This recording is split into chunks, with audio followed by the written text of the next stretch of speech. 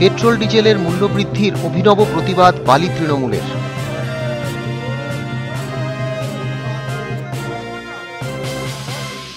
petrol ডিজেলের মূল্যবৃদ্ধির অভিনব প্রতিবাদ বালি তৃণমূল নেতৃত্বের স্কুটারকেই প্রতীকী হিসাবে বাঁশের দোলায় ঝুলিয়ে হরিবোল ধ্বনি দিয়ে রাস্তায় খই ছড়িয়ে শবযাত্রা করে নিয়ে যাওয়া হয় শ্মশান ঘাটে পেট্রোপণ্যের অস্বাভাবিক মূল্যবৃদ্ধির প্রতিবাদে স্কুটারের এই শ্মশান যাত্রা হয় তৃণমূলের উদ্যোগে ছাপ্পান্ন নম্বর ওয়ার্ডের প্রাক্তন কাউন্সিলর তৃণমূল নেতা বলরাম ভট্টাচার্যের নেতৃত্বে সোমবার বিকেলে এই অভিনব কর্মসূচি নেওয়া হয় যে হারে পেট্রোল ডিজেলের দাম বাড়ছে তাতে নাভিশ্বাস উঠছে সাধারণ মানুষের যেখানে সংসার চালাতেই গরিব ও মধ্যবিত্তের হিমশিম অবস্থা সেখানে এত টাকা খরচ করে তেল তুলে স্কুটার মোটরবাইক চালিয়ে কর্মস্থলে পৌঁছানো বোঝা হয়ে দাঁড়িয়েছে সাধারণ মানুষের তাই স্কুটার চালিয়ে নয় স্কুটার কাঁধে চাপিয়ে শ্মশান যাত্রা করলেন তৃণমূল নেতৃবৃন্দ প্রতীকী প্রতিবাদ হিসেবেই এমন কর্মসূচি সোমবার বালির পাঠকঘাট শ্মশানে কাঁধে করে হরিবোল ধ্বনি দিয়ে যাত্রায় স্কুটার নিয়ে যাওয়া হয় রাস্তায় খই ছড়ানো হয়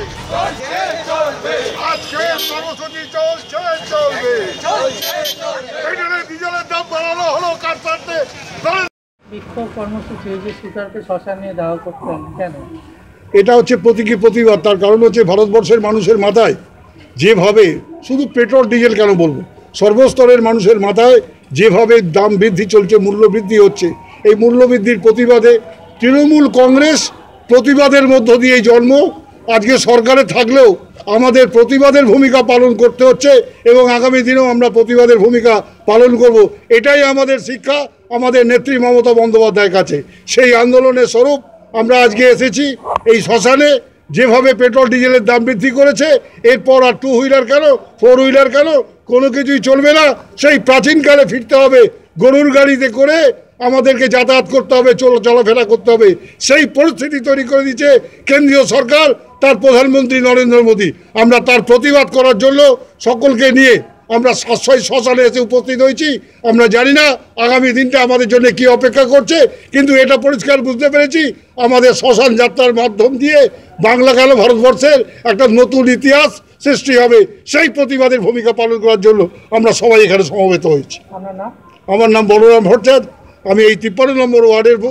প্রাক্তন কাউন্সিলর এবং সাধারণ মানুষের সঙ্গে যেটুকু চেষ্টা করি থেকে প্রতিটি আন্দোলনের মধ্যে থেকে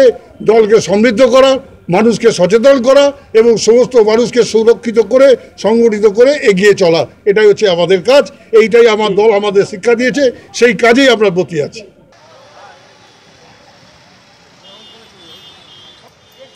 বালি থেকে সৈকত দাস টাইমস বাংলা